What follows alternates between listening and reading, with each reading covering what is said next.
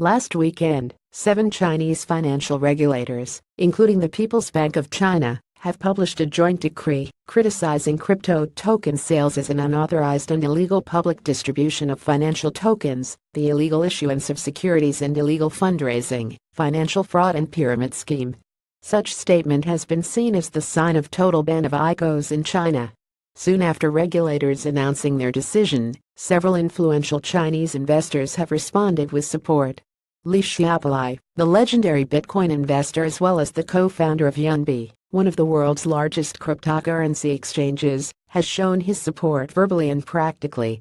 What's more, Li then halted all trading of ICOs in Yunbi, including QTUM, GXS, EOS, ANS, DGD, First, GNT, REP, SNT, OMG, Pay, Lund, and Ben.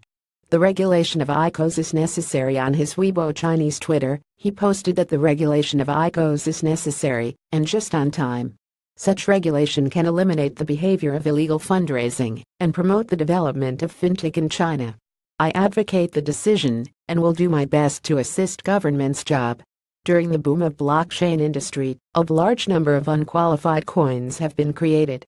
For the better future of the industry, I am willing to cooperate with the regulators to eliminate those coins. My company has always been and will continue being the well-performed player in the market.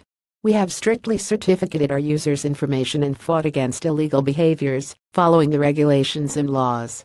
Now, all my staff are working in front of their tables, cooperating the regulators. I will not respond to any rumor about myself. Instead, I will pay all my attention to my company and the industry. Besides, I will do my best to cooperate with the regulations, assuring that the risks are always under control. I suggest all blockchain investors to follow the rules and invest lawfully. I also suggest the industry to form a self-regulated treaty and following it in the future. Finally, I suggest the related government departments including fintech into the current financial regulatory system. Alex Gao, guest author